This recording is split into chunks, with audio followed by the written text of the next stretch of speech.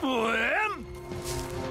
You mean to tell me you interrupted my mani-pedi for a vaguely spaceship-shaped hole in the ground? No!